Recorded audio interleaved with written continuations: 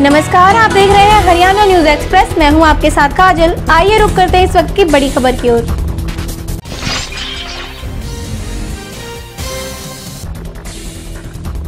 रेवाड़ी में पिछले लंबे समय से व्यापारियों से बदमाशों की ओर से की जाने वाली लूट का सिलसिला थमने का नाम नहीं ले रहा है। इसके चलते व्यापारियों में दहशत का माहौल है। ऐसा ही लूट का एक मामला उस वक्त सामने आया, जब धर्मेंद्र छाबड़ा नाम का एक कपड़ा व्यापारी अपनी दुकान बंद कर कपड़ों से भरा बैग एक किसी के घर पर देने जा रहा था। तो पीछे से आई बाइक सवार तीन बदमाशों ने उसकी स्कूटी को टक्कर मार नीचे गिरा दिया और पेचकस से उस पर हमला कर दिया। व्यापारी ने किसी तरीके से एक घर में घुसकर अपनी जान और जेब में रखे एक लाख तो बचा लिए, लेकिन बदमाश हज़ारों रुपए के कपड़ों से भरा बैग लेकर फरार हो गए। पूरी वारदात सीसीटीवी कैमरे में कैद हो गई, जिसके आधार पर पुलिस मामला दर्ज कर आरोपियों को शीघ्र गिरफ़्तार करने की बात कह रही है। वारदात के वक्त मौके पर मौजूद लोग मूक दर्शक बने रहे। रेवाड़ी से हमारे संवाददाता राजकुमार की रिपोर्ट।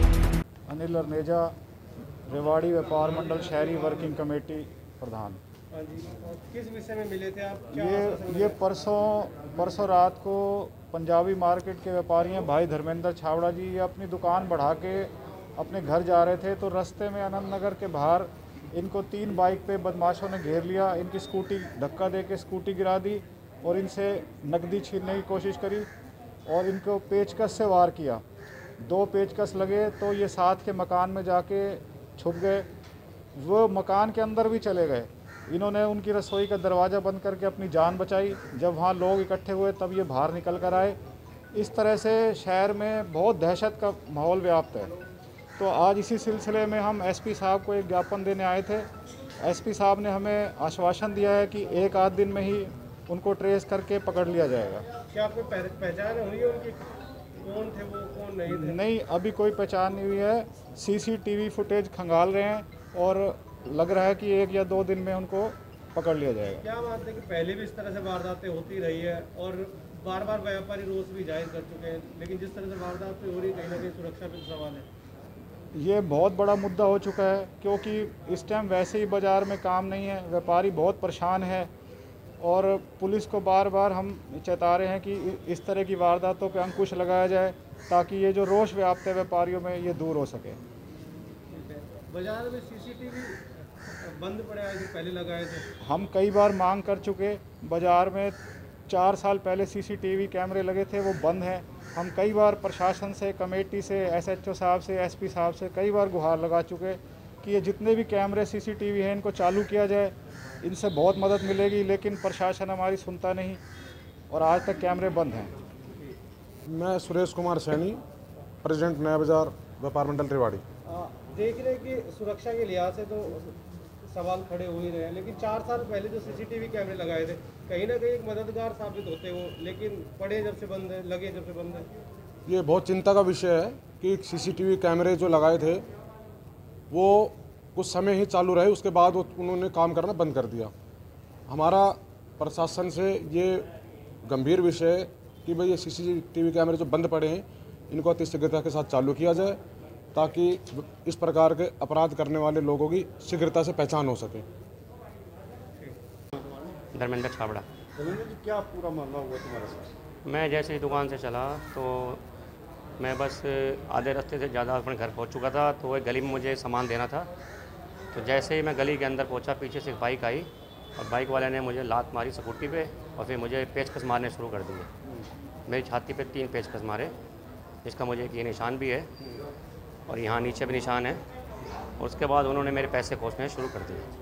मैंने हिम्मत करके उनको धक्का दिया और मैं किसी बंद मकान का दरवाज़ा खोल करके दरवाज़ा खुला मिला और मैं अंदर घुस गया। पर वो पीछे पीछे आते गए।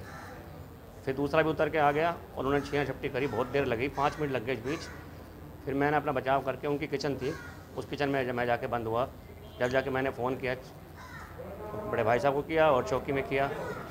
फिर वो थोड़ी देर के बाद भाग गए और तीस हज़ार रुपये का जो सामान था स्कूटी के ऊपर जो किसी के घर देने जा रहा था वो ले गए। ये पूरी वारदात कहाँ किस जगह पर हुई? ये आनंद नगर से आगे महेंद्र सत्यवा की गली है। यहाँ पर शराब का ठेका खोला हुआ है जाँच चौक से पहले। कैश तो मेरे पास उस टाइम एक लाख रुपये था। लेकिन कैश नहीं छीन पाए कैश मैंने उनको छीनने नहीं दिया मैंने पूरी हिम्मत से लगा रहा उनके साथ। वो मुझे मार भी रहे थे और पैसे भी छीन रहे दोनों काम कर रहे थे वो। अब पूरी वारदात जो है वो सीसीटीवी फुटेज भी कवर हुई है। हाँ जी हाँ जी। लेकिन हम देख रहे हैं कि सीसीटीवी फुटेज जो दिखाई दे रहा है वहाँ बस बहुत से लोग भी खड़े थे। वो लोग बाद में आए हैं। जब वो सामान उठा रहे थे उस जब आए हैं उन्होंने थोड़ी हिम्मत दिखाई होती तो वहीं पकड़े भी जाते वो।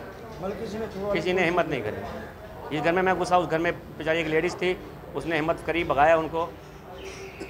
उसने हिम्मत करी थी अपनी तरफ़ से पूरी और वो भागे नहीं। वहाँ खड़े लोगों ने कोई मदद नहीं। वहाँ खड़े लोग बाद में उन्होंने कोई मदद नहीं करी। सर व्यापारी मिले अभी थोड़ी देर पहले। इनकी मांग है कि सुरक्षा देखो बदमाश घूम रहे हैं व्यापारी में डर का माहौल है। और अभी वारदात हुई है दो दिन पहले। तो क्या कर रही है पुलिस अभी इस संबंध में हमने एफ़ आई आर दर्ज कर रखी है और उसमें जाँच जारी है। चाहिए और हमारे एस टी सिटी दोनों इस पर काम कर रहे हैं लगातार। इसमें जल्द ही इनको गिरफ़्तार कर लिया जाएगा। जिसने भी शरारत की है, उससे पहले भी एक दो वारदात हुई, वो लगातार हमने जल्दी उनका सॉर्ट आउट कर लिया था। उसके अलावा हम पूरे शहर के अंदर नाके लगाते हैं, शाम के टाइम चेकिंग करवाते हैं। कई बार उसको डिफरेंट टाइम में भी नाके लगवाते हैं। शहर के अंदर हमारी पी सी आर है पैदल पेट्रोलिंग है तो सुरक्षा की दृष्टि से हमने पूरे इंतज़ाम कर रखे हैं। ये कोई वारदात हो, इस वारदात को भी हम सॉल्व कर लेंगे। लेकिन सर बार बार जो वारदातें होती है तो सुरक्षा का पे सवाल तो बार बार उठता ही है। आपकी जो नाकाबंदी आपने पेट्रोलिंग की हुई है तो कहाँ रहती है उस समय नहीं ये हमने टाइम बिंग लगाते हैं। जैसे शाम को चार से बारह लगा दिए। चार से बारह हम मेन मेन चौकों पे नाकाबंदी लगाते हैं। वो सभी अम, अनुवांछित लोगों को अनुवांछित व्हीकलों को चेक करते हैं।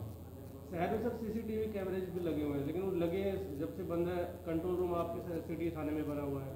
बंद पड़े हैं कुछ टेक्निकल दिक्कत है उसको ठीक कराया जाएगा जल्दी चालू करवा देंगे